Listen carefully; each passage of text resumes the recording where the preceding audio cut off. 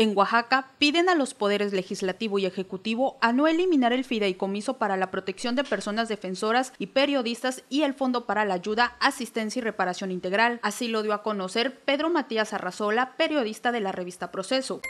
Es necesario que el gobierno federal revise eh, y no eche a todos en el mismo saco de eh, opacidad y corrupción.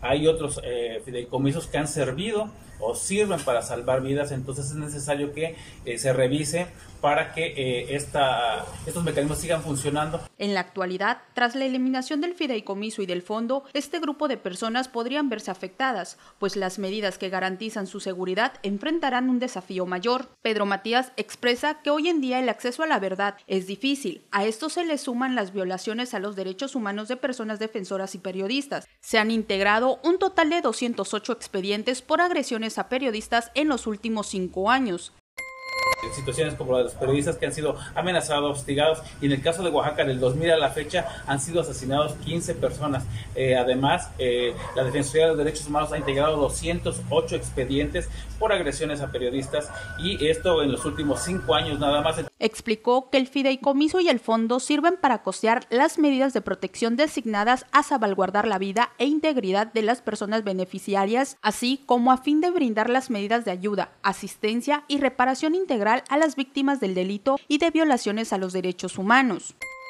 Para eh, eh, cuidar vidas, para salvar o el desplazamiento eh, forzado que existía, donde hay algunos periodistas que tuvieron que emigrar o están en refugios que han servido para em, de alguna forma salvarle la vida. De acuerdo con el último reporte del Consejo Ciudadano de la Junta de Gobierno del Mecanismo de Protección para Personas Defensoras y Periodistas, 1.304 personas, de las cuales 418 son periodistas y 886 defensoras, se han visto beneficiadas con este fondo. Con información de Connie Baigorria, informó para Mega Noticias, Perlo Ochoa.